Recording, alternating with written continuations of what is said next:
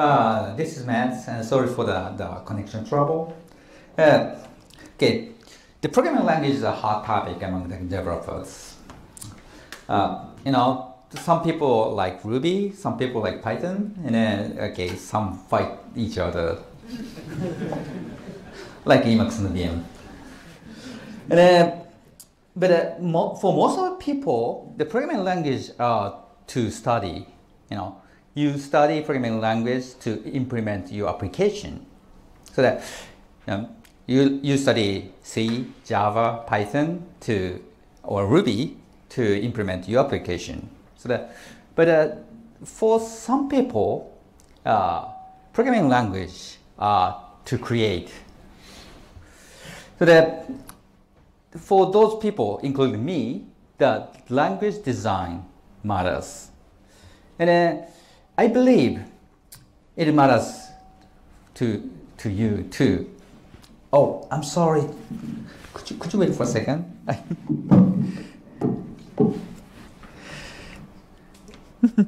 I made a mistake in my slides. yep. So the because the learning the design of the programming language uh, make you a better programmer, so that you to have the better programming skill, and then then you you will understand the rationale behind the language design, so that you don't have to worry about the you know it, random choice in the, the programming language. That sometimes you wonder so that why this method or this language feature designed like this.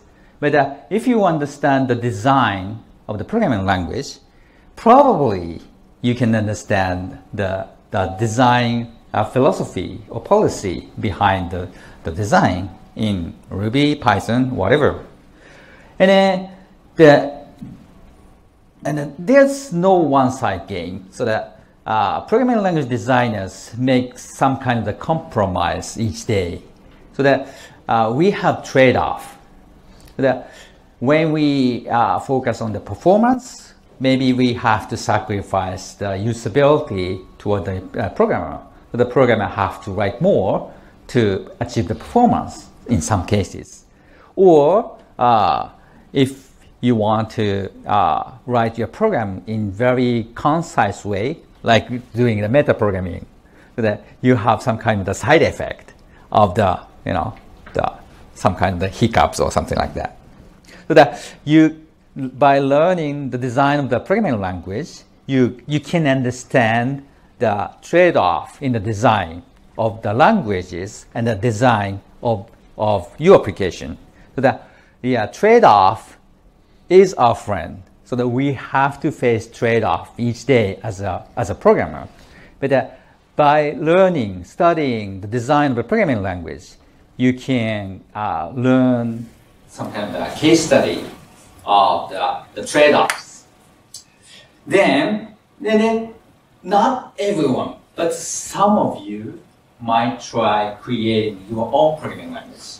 Uh, maybe your programming language may not be popular, but uh, the designing your own programming language itself is a very valuable experience, and uh, I believe it will make you better programmer. And then, okay, in this presentation, I'm uh, talking about the design of Ruby language uh, through the reserved words, uh, and uh, the source of inspiration of design Ruby. Uh, Ruby has 41 reserved words. That's kind of many. And uh, each reflects the early design decisions of the language. The and the story behind those reserved words. The Ruby is kind of famous for using the begin and end. So that, you know, unlike other programming languages like Java or JavaScript or C, they use uh, braces to, to create the block, the code blocks. But uh, instead of using braces, uh, Ruby used the end keyword. But uh, your Ruby program will see lot, lot of ends. But, but it's, it's kind of the intentional. uh, it is called Algol style. The, in ancient time, the, we had a programming language named Algol uh, that created right after the Fortran. And then the, current most of the current programming languages are influenced somehow by Algol. Then uh, the Algol used the begin and ends to, to notate the code blocks.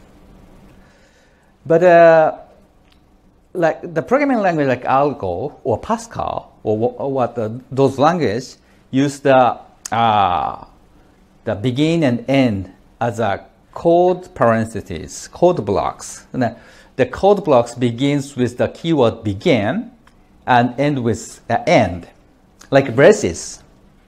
But in Ruby, we don't we don't use uh, begin that much because of the uh, Ruby used the second generation uh, second generation of the uh, the begin end style, which is a comb style indentation.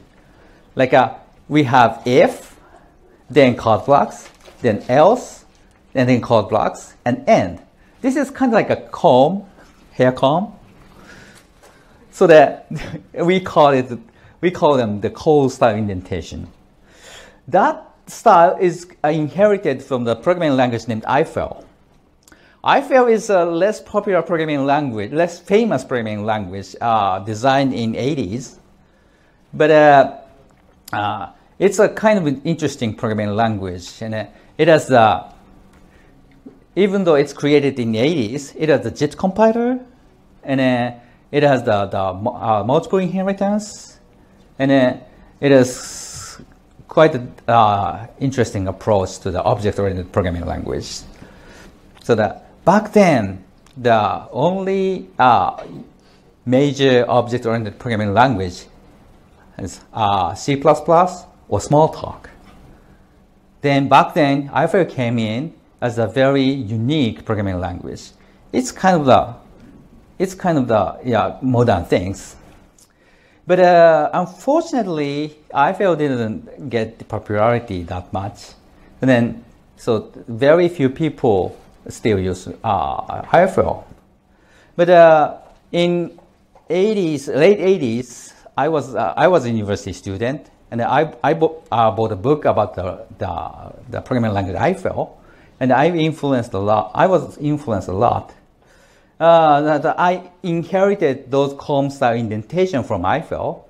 And then the, those keywords like uh, rescued and ensure and retry, and th those keywords are inherited from Eiffel, uh, from uh, for a little bit different uh, way though. Okay, next. Uh, we have the in Ruby we have the the keywords uh, reserved words like a break next redo, which controls the the loop execution. So the break time terminates the loop. Next, skip the execution of the of the loop into the, the next iteration, and redo restart the uh, execution of the the loop from from the start. And uh, we don't use continue as in as in say C or other languages.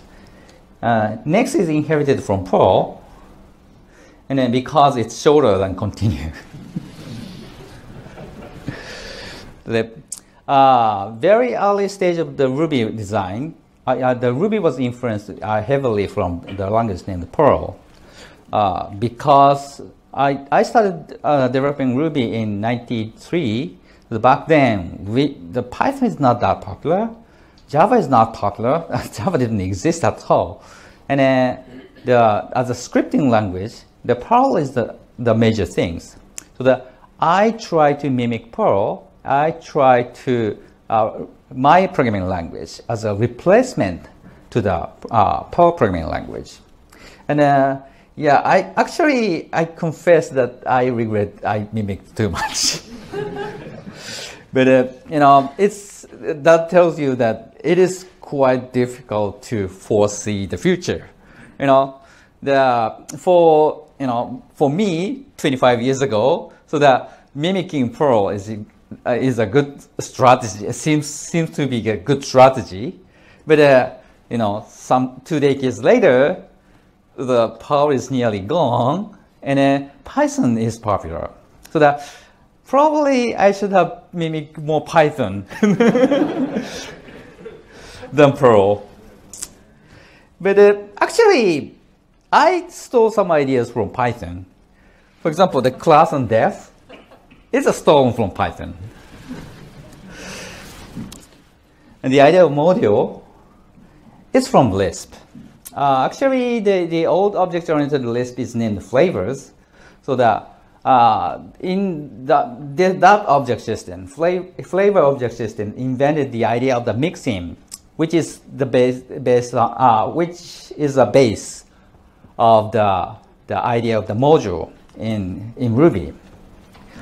So, okay. Next, yeah, we have very uh, usual if, else, and else if. And uh, yeah, this is quite usual, but uh, if is kind of controversy. Some people prefer if, and some people uh, use if. And then uh, some other language like a Python and Shell use elif. What do you choose? it's arbitrary. So the else if okay, if, elif. Uh, I pick if because this that is the shortest pronounceable combination. You know, uh, but elif is not really a short, not the same pronunciation of elsif. But it's a different. Actually, it's reverse of the file.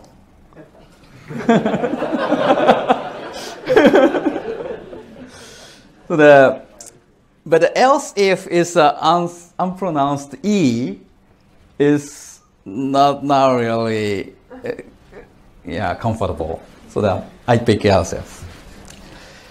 Uh, then, then we don't use then in Ruby, but it's kind of stop word. And then actually we have the then method and the class method in Ruby. Uh, that allows me that if it is clear, you can use the uh, method with the same name of the reserved words. This is unusual for the programming languages. But uh, if you if you want to retrieve the class of the of, of an object, you want to call a method. What the method name should be? Class. But the class is a reserved word. So that in many programming language, so it causes error.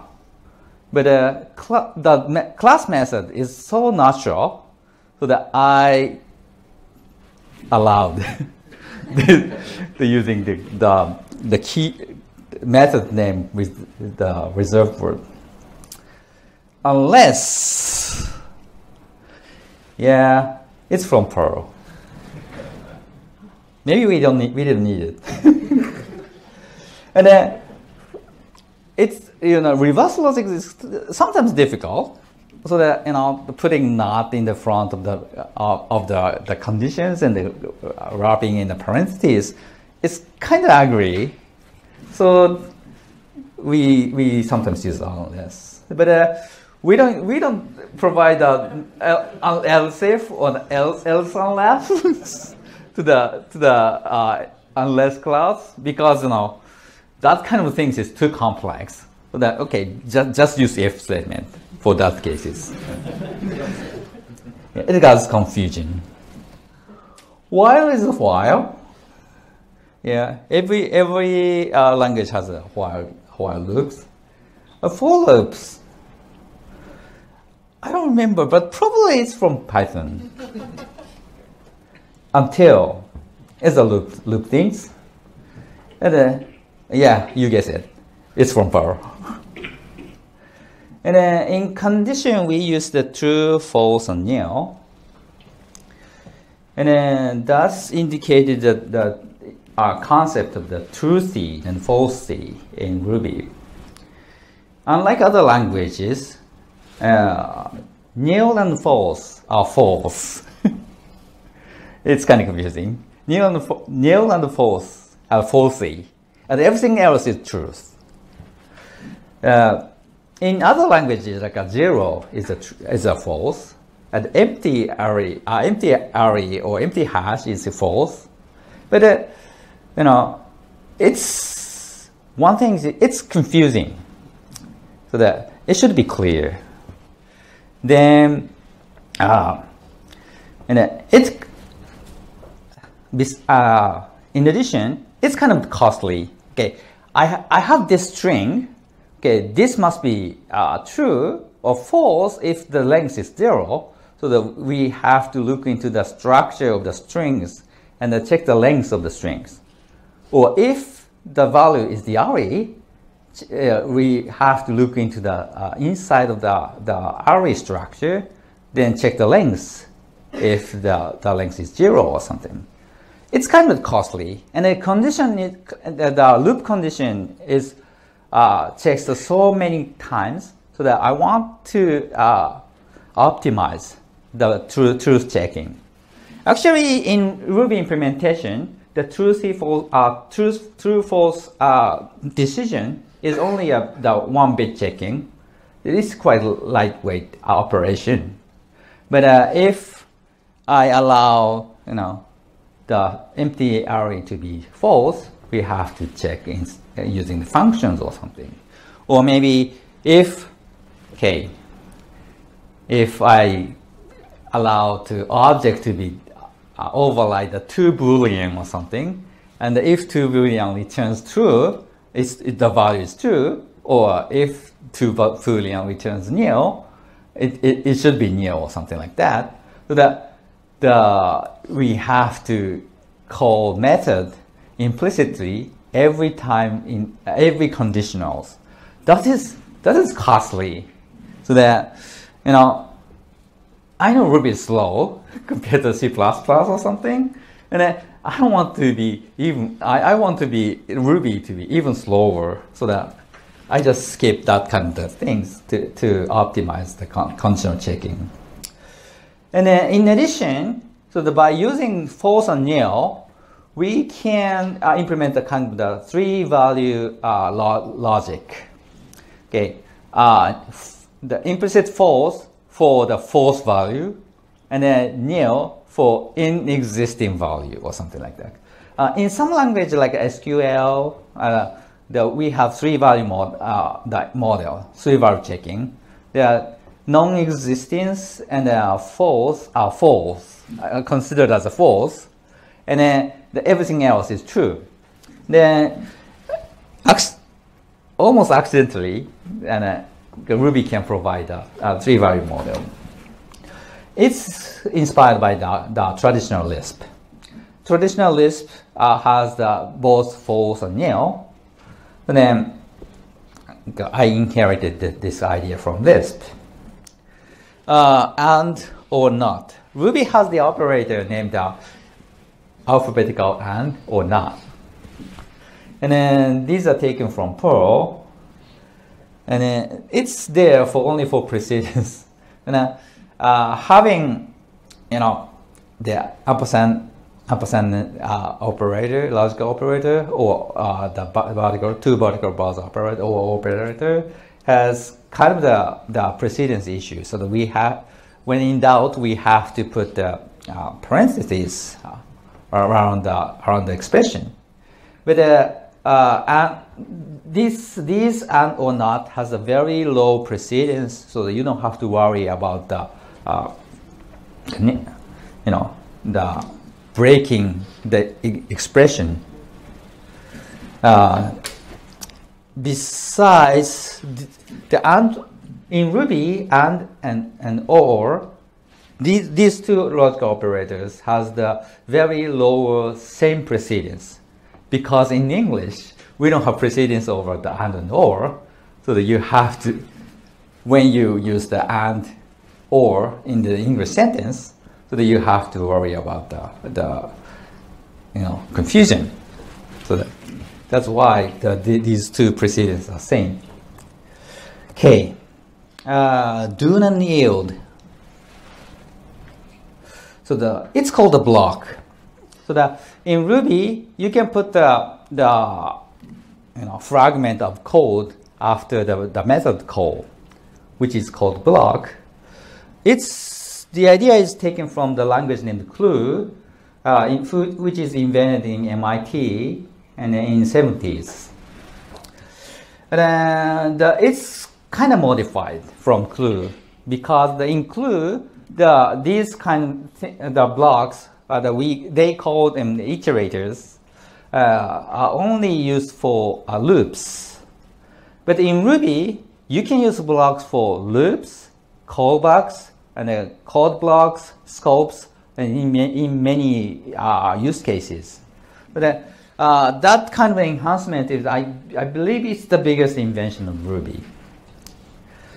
So that actually it's kind of similar to the you know higher order function in other programming languages like Lisp, Haskell, and those functional programming languages.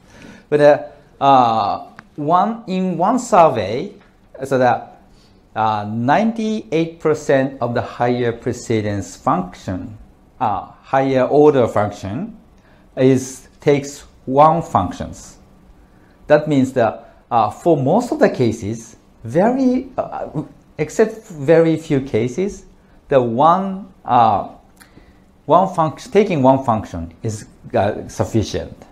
That means that uh, if one taking one function is sufficient, so that uh, restricting method to be taking one functional argument and then take a special syntax for that kind of the, the one function, a higher order uh, calling is good and very usable and easy to read in, uh, in the language. So that, that's why the, the block, the method called with block is the biggest invention of Ruby.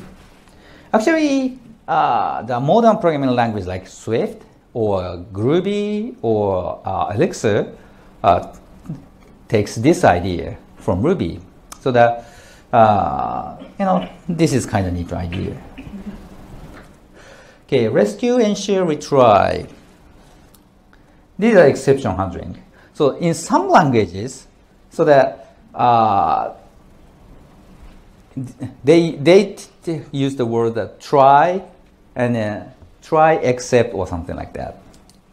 But uh, I don't want to use that, that term try because, you know, exception is, ex exception is usual. So that every method is usual. And then I, I don't want to, okay, this method might raise error, so that should I try or something like that?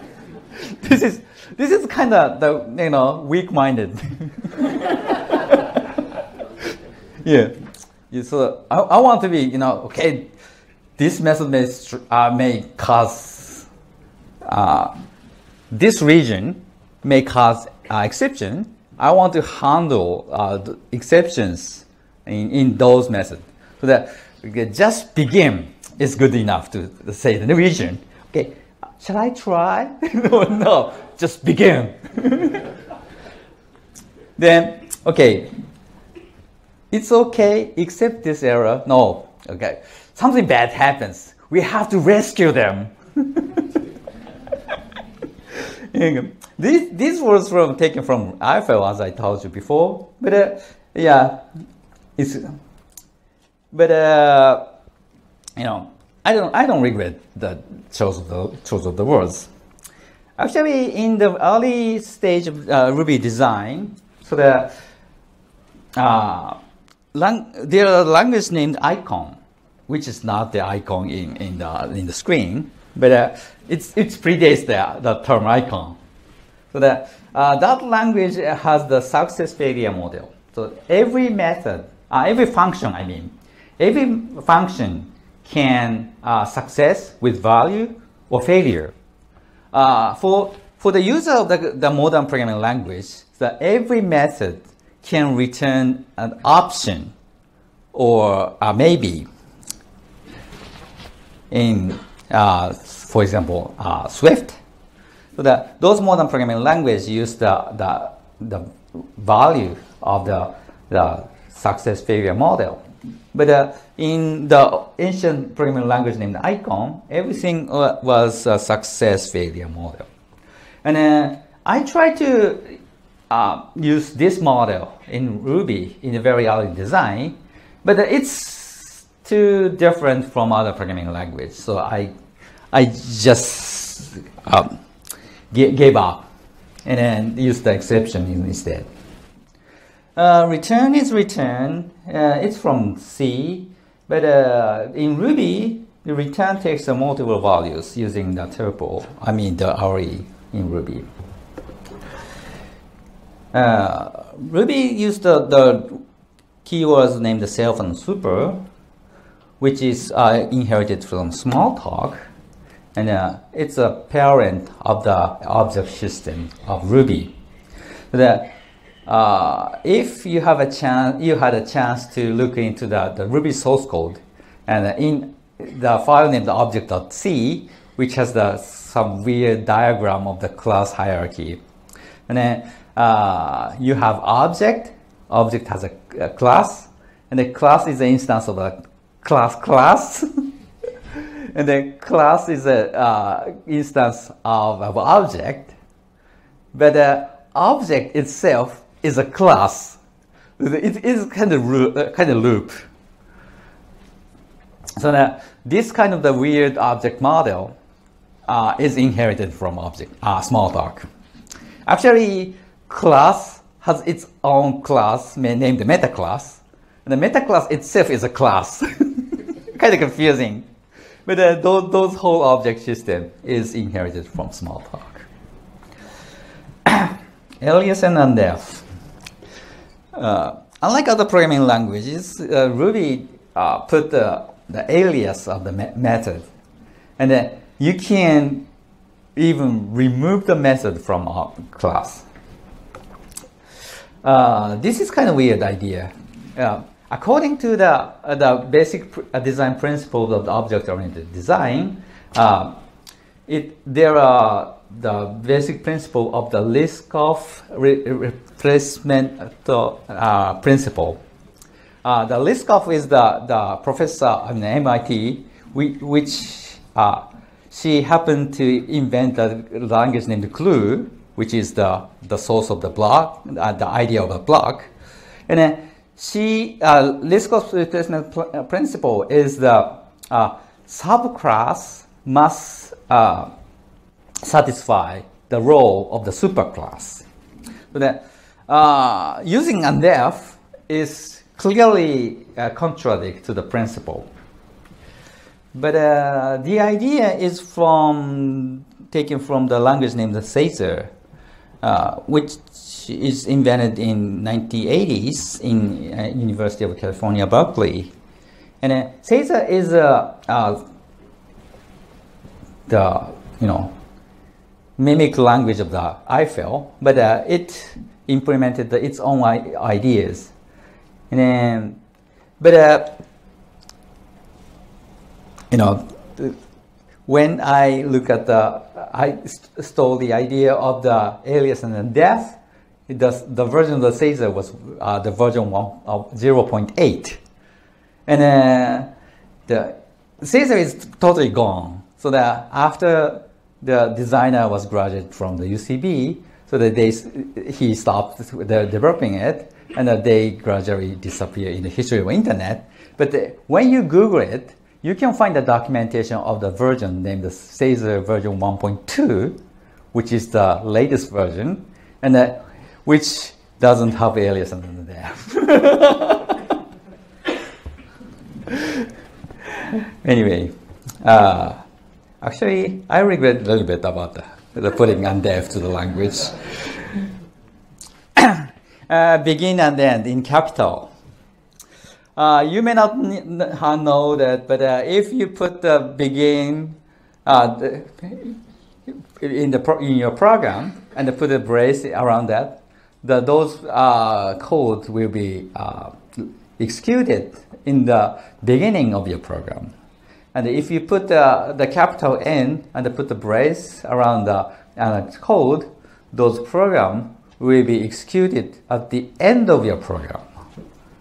it's it's the idea is taken from uh, oh, taking a picture.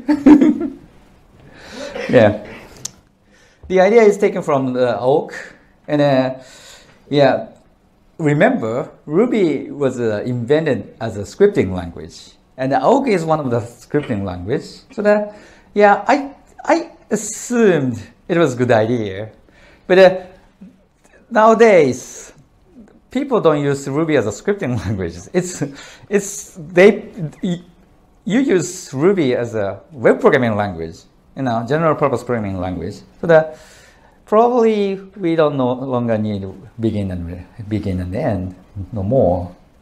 So that it's not recommended anymore, but it's still there.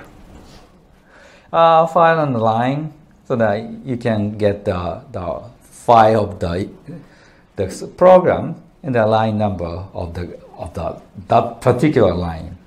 It's from C. In addition, Ruby has the encoding which is the, the file encoding uh, from 1.9. Uh, let me tell you a little bit about that. Okay, uh, in 80s and early 90s, we don't have uni- we didn't have Unicode, so that each country has its own uh, the character encoding. Uh, the English speaking people are okay because ASCII is, yeah, ASCII can express everything.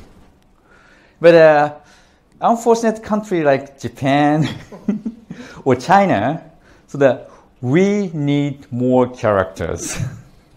Actually, thousands of characters. So that we have to, we had to invent our own character encoding. And then we have to handle those encoding in our programs. So to handle those uh, char characters, there are two ways to handle it. One is the universal character set approach, which is basically the Unicode. But uh, the, the other one is a character set independent uh, approach.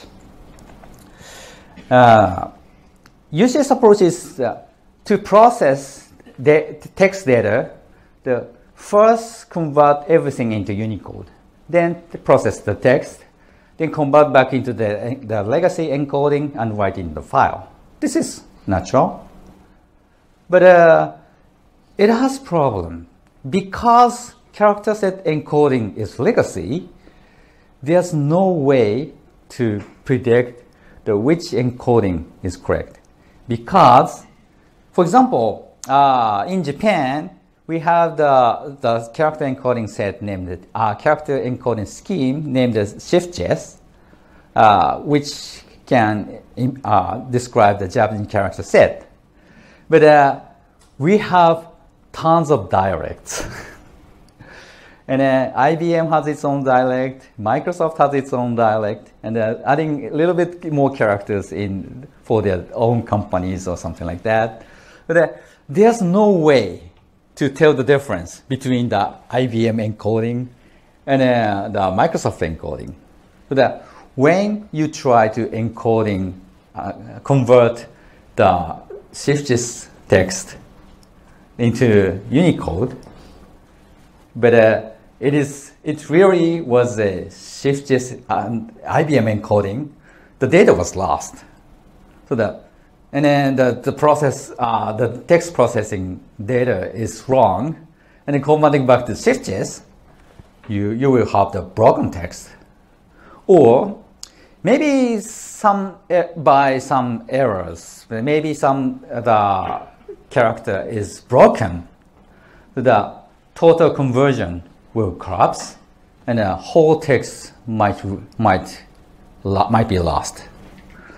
That kind of things would happen if you, have the tons of the legacy text. Okay, okay repeatedly, English-speaking people are okay, and uh, the most programming language are designed by the English-speaking people or you know European language, you know very limited character set. Yeah. so that the, for them, the byte encodings are good enough.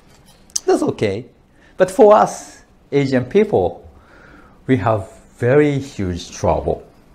That, that's why we, uh, we Ruby people pick the, uh, the, the call set independent approach. That uh, in Ruby, uh, you don't have to convert anything. So that the for SJIS text, you can process it as a SJIS. For the Unicode text, you can uh, handle them as a Unicode, UTF-8 or UTF-16 even. Or maybe in the legacy Chinese encoding or legacy Taiwanese encoding, you can handle them without any conversion. So the, but uh, you know, it was designed in 90s. These days, okay, Unicode is almost take over the world, but uh, maybe the future programming language will no longer handle the legacy encoding. But uh, for us, especially in the, the in that age, 10, 10 years ago, 15 years ago, it is quite important for us to handle legacy encoding. Yeah. So Okay, these are Ruby's reserved words. So that those words are taken from other programming language, and uh, we think very carefully to uh, which language to steal the ideas, and the concept. Okay. Say, okay. Let in addition, let me uh, explain anything, something new. Okay, chaining operators. Uh, in language like uh, F Sharp from Microsoft and Elixir, so that we have the, something named the pipeline operator, like this. The, in, by pipeline operator, so you can combine two functions in, in diverse way. So the, uh, in Ruby, you can write like this. So that it's almost similar. So the, the, the original idea of pipeline operator is invented in F sharp and the ML like family language. And its definition is this. This is the pipeline operator definition. So ML like language, by wrapping in the parentheses, you can define the function name with the operator names. And then the, it takes two arguments, x and f. Then uh, you can call the second argument as a function, then first argument as a as a it's a op, uh, operand. That means that you can add the primary argument at the last of the uh, the arguments. For example, the map function. Map function in F sharp and ML languages uh, map function takes a, a you know array and a function and uh, apply the every each element in the in the array in the collection to the function. Then, okay, in ML, ML family language, the function comes last of the arguments. The array is the first argument of the map function because map is very important. We, I, we call them the uh, primary arguments. The primary arguments comes first, function comes last. Okay? But uh, the, in Elixir, uh, pipeline operator is defined as a macro, and uh, it adds primary argument as the first argument of the function call. So the map function in Elixir fun uh, the array comes first. Uh, I'm sorry, I made a mistake. Okay, uh, the first argument comes. Hmm? Okay, uh, the the collection comes first. The function comes last. Uh, I made a mistake. So yeah, uh, the primary argument in ML language, F sharp, uh, function comes first then array comes last. And uh, in Elixir, it's reverse.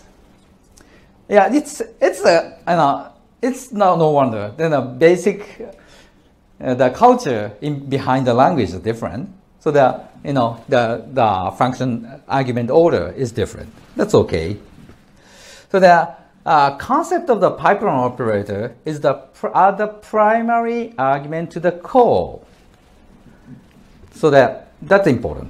Okay, uh, no matter which order of the of the function call, so the pipeline operator as the primary argument of the left-handed left-hand side expression put in the, uh, uh, the to the call in the, the proper place uh, of the language. So that if I add the pipeline operator, operator in Ruby, so the are the primary argument to the call. Then remember in Ruby, map function, I mean map method, takes the primary argument, which is the array, as a receiver of the call. So the, you know, unlike F sharp or Elixir, we don't put it in the usual argument, but the receiver.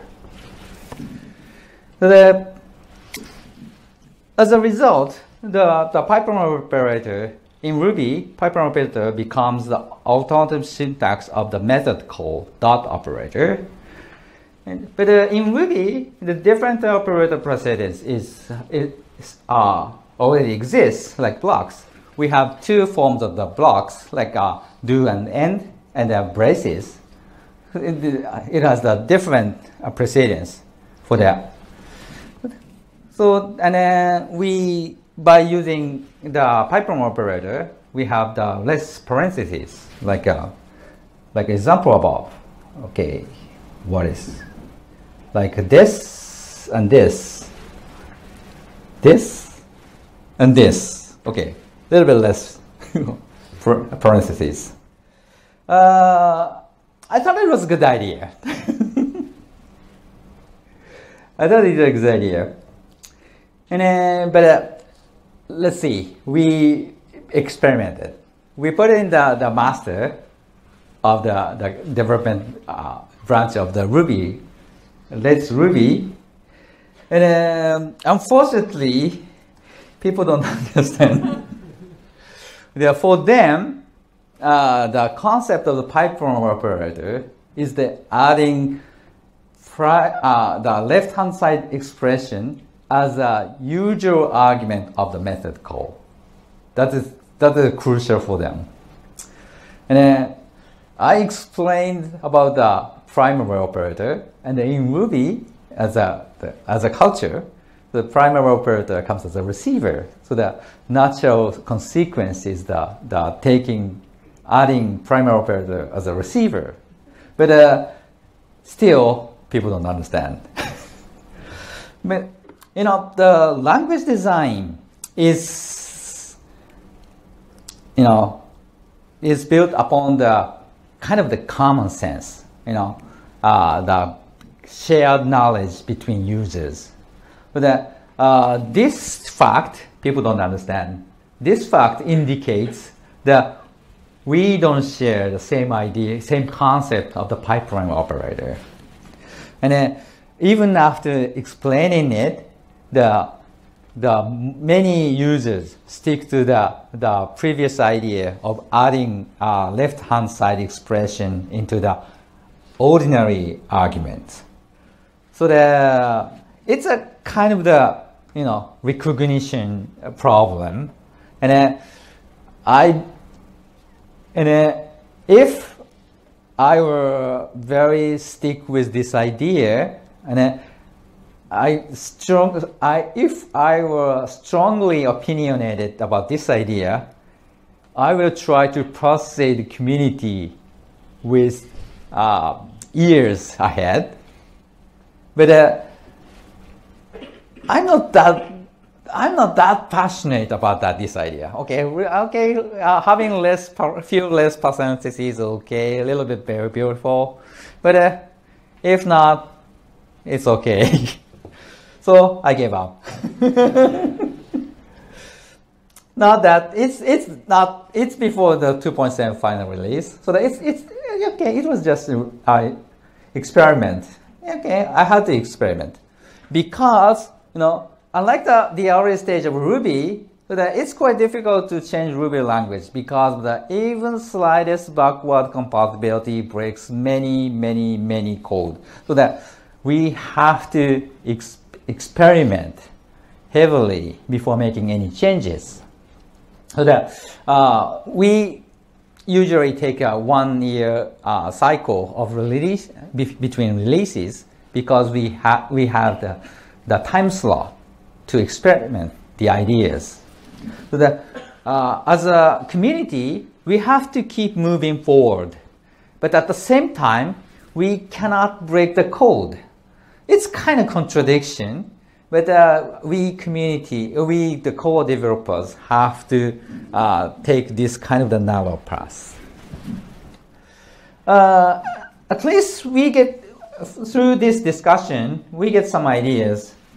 So that in the past, we cannot allow the comments in between the, the method chain like this. The, when Ruby parser sees this comment, it's stops the, the method chaining. But it's kind of the, you know, bad things. It is kind of against our expectation that we fixed our parsers to allow this comment between the method chain. This is one good thing. Uh, and uh, and uh, we are aware of the uh, requirement for the right assignment. Okay, when we uh, when we have to write the assign the the resulting value from this method chain. Okay, this this method chain, you have to go back to the top and assign to the variable. But uh, it's it's against our eye movement. You know, go go like this, go like uh, uh, left to right, top to bottom. Then when you assign it, you have to go back to the top, then assign to the variable. But uh, if we allow the right assignment like this, okay, I process this, then that, then that, then that, then assign to the variable, right assignment. It's, it's kind of natural. So that, you know, we are still experimenting in the, this idea, but uh, uh, we might see it in the future will be. The making decision is quite tough. The, we need a scope of the, every change has its scope so that you cannot break the existing code and uh, your change might affect uh, you know, unexpected uh, region. And then every changes has its background. Like uh, say, the pipeline operator has a this policy or something like that. But uh, this uh, policy and recognition might not be accepted by the, you know, the major members of the community. And then uh, we we need a motivation behind the behind the change. Maybe uh, by using these changes, uh, the Ruby code will be more readable or e more easy to write or something like that. And then this is kind of tough choice. The, the making decision, especially the language design, is tough choice. Then we use the uh, the way we call it the BDFL, uh, benevolent dictator for life. okay, that taking one person to make every decision, trying to be consistent, trying to be better. But uh, uh, some other languages take a committee style. For example, PHP takes committee style. Every change is, is uh, voted, then uh, every, every changes is decided by some kind of a democratic way voting. And uh, but uh, I, I'm not sure. I I don't think that that would be uh, works well with the programming language because a ship would climb a mountain with many captains or too many cooks spoil the broth. So uh, the language design has very uh, many issues and consideration. And uh, in summary, we took many ideas from the pre uh, pre-existence forerunners and uh, combined them in one in harmony. That is good. And uh, we have a lot of the contradiction between fe language features, but we have to resolve it and we have to make trade-off. And, and uh, toughest part, toughest part in the language design is making decision. And I think it is same to the to the, the software design. The toughest part in the software development is making decision. So the programmers uh, the biggest role is making decision. And uh, surveying pre-existence or uh, taking ideas from others and then uh, adapting adapting the ideas into the current software. And then once you make a decision so that go through it with confidence. That that kind of the leadership and the making decision is a very crucial part of the software design okay. This is this is all my all my talk and the thing. Um, thank you for listening. Thank you